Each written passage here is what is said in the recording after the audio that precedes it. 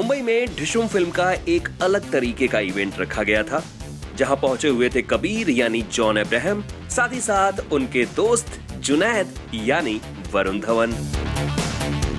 इस इवेंट की खास बात यह थी कि ये दोनों सुपरस्टार्स मीडिया की फीमेल रिपोर्टर्स के साथ जिम में एक्सरसाइज करते हुए नज़र आए, जहाँ एक तरफ़ जॉन ने वरुण के साथ पुशअप्स किए मीडिया रिपोर्टर्स को कुछ अच्छी अच्छी एक्सरसाइजेस भी इन दोनों एक्टर्स ने सिखाई।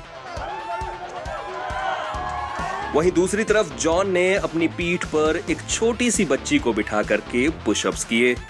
और ये सब देखते हुए जुनैद यानी वरुण धवन कहाँ पीछे थे? उन्होंने मीडिया जर्नलिस्ट को अपनी पीठ पर बिठाया और पुशअप्स किए। वेल वरुण धवन और जॉन एब्राहम की फ़िल्म ढिशुम 29 जुलाई को रिलीज़ होने वाली है एंड ट्रेलर से ही लोगों को फ़िल्म देखने में काफ़ी दिलचस्पी ऑलरेडी बन चुकी है। सो so, हम भी इंतज़ार करते हैं 29 जुलाई का।